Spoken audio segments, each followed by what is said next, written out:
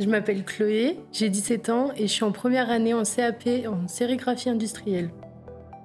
J'étais très créative, je voulais un métier euh, que je puisse faire avec mes mains, créer des choses et du coup la sérigraphie c'était parfait. Les qualités pour un bon sérigraphe, je dirais pour moi ce serait être curieux, aimer faire quelque chose de ses mains, être créatif et surtout euh, aimer euh, le métier qu'on fait. En alternance, euh, je fais trois semaines en entreprise, une semaine à l'école. Dans l'entreprise, je fais essentiellement euh, du textile, donc euh, t-shirt, casquettes, mais aussi beaucoup d'objets et aussi des gros panneaux de chantier.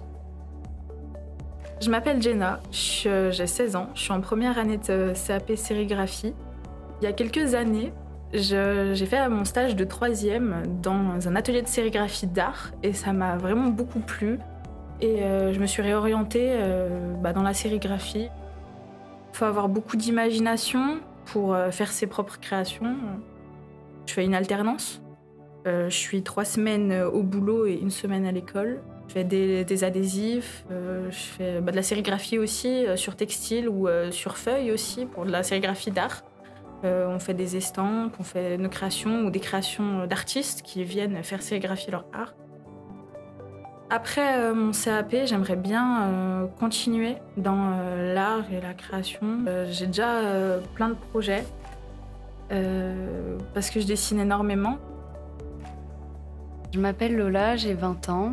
L'année dernière, j'ai fait mon bac RPIP, du coup en production imprimée. Cette année, j'ai continué avec un CAP de sérigraphie en deux ans pas avoir peur de rester euh, toute la, même, euh, toute la journée à faire la même chose parce que bah, c'est souvent ça euh, en sérigraphie, c'est souvent de la production. J'aimerais bien envisager ouvrir ma propre entreprise et pouvoir du coup mélanger l'imprimerie, la sérigraphie et l'art.